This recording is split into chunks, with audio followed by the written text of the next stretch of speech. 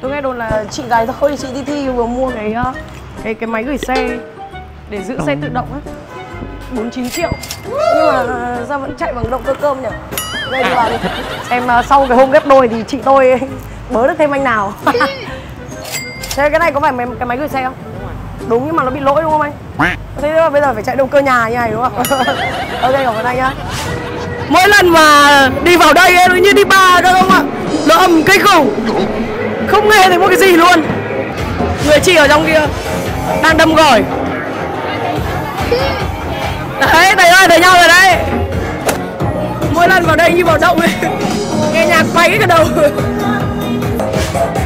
Cổ thân đông khách quá nên là đang chưa ra nói chuyện được tôi phải ra tôi hỏi xem là ghép đôi thế nào.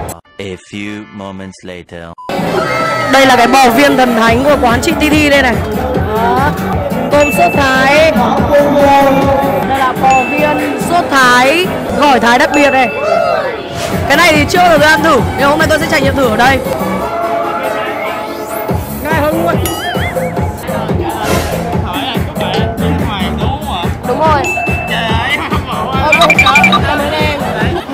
Họp á là em có một chuyến đi ra ngoài Hà Nội, em ở ngoài hai ngày. Em đi tính tính đi lên phố ờ, trên Hà Nội á. Em tính ghép đôi. đôi dạ. em không tới rồi ghép đôi nhá không tới ghép đôi Sài Gòn nhá là ghép đôi chung tại tụi em đang tìm hiểu nha. Cũng là người gốc- tìm hiểu nhau Dạ. Đâu Em đến là đâu? đang ghép. Dạ. bạn đi đâu Ở ngoài Bắc. à ở ngoài bắc Dạ. thế lại ra bắc ghép đôi Dạ. Quá chuẩn luôn. cuối tháng bay ra vẫn nữa nhá cuối tháng Dạ, bay dạ. về ok cảm ơn em ok cảm ơn em nhá bye bye có phải anh đã khiến trái tim của người anh yêu thương rất buồn ok cái cái này thì hơi nguội một chút nhưng mà vẫn ngon rất thơm Cơ bò viên cái vị nó rất là bò luôn rất là kề nha mềm. Cái gì vậy bà nội? ngon. Tôi vẫn rất là mê GTD bán đồ rất chất lượng rất thích luôn đấy. Và thích cái cách mà chị uh, cư xử với mọi người. Đấy là gỏi gỏi tôm sốt thái độ giòn khá là tươi.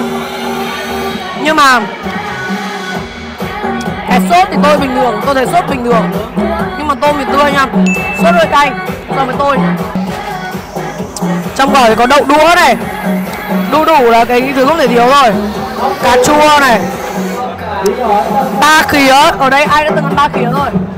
Tôi thì tôi rất là thích ăn ba khía nhưng mà chỉ là ăn ba khía với gỏi thôi nhá còn ăn thường thì mặn lắm không ăn được.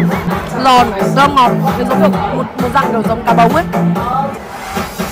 Nó rất là hợp khẩu vị của tôi. Của tôi thì tôi ăn theo tuần kiểu Việt Nam ấy. Nó không quá cay. Nó da heo này.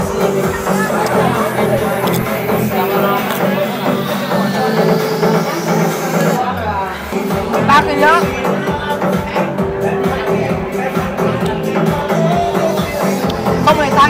Không hề tanh, không hề mặn ăn với gỏi rất vừa phải luôn. Rất ok. Ngon nhưng hơi cay, mà uống với nước như thế nó mới hao nước có một điều Titi mà mình rất là thích. Ở chị Titi mà mình rất là thích, đấy là các bạn nhân viên ấy, được chị training rất là nhiệt tình.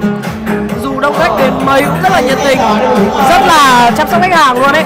Nha, đấy là một trong những cái điều mà mình rất rất là thích ở đây.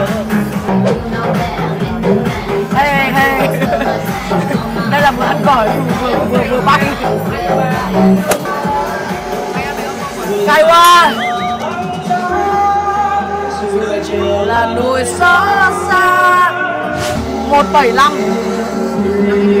Ờ 50 nghìn chín con tôm. Ngồi Ngồi trong này các bạn cũng có thể xem được camera xe của các bạn luôn này. Không những một em mà hai em luôn, Hai em camera luôn. Từ ngồi tôi nhìn thấy mặt mình luôn. Có vẻ như là người chị quá là bận rồi, Không thể chào được. Vì nó đông quá, Nên chắc là thôi, mình sẽ đi về luôn.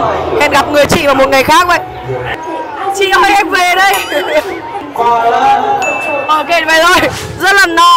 Và tôi phải mang về để ăn Không thì phí quá, thừa quá nhiều. À, Các bạn đừng quên like, share, subscribe vì you Và đừng quên là ghé quán của chị Titi nha. Mọi người chị rất là dễ thương của tôi đó và hôm tới nếu mà có cơ hội sẽ ghép đôi lại của chị Titi Thi nhá. Với cả lần sau em đến em sẽ báo trước để có gì chị rảnh là chị ra nói chuyện với em. Quay lại cho mọi người xem ha. Bye bye. Xin chào và hẹn gặp lại.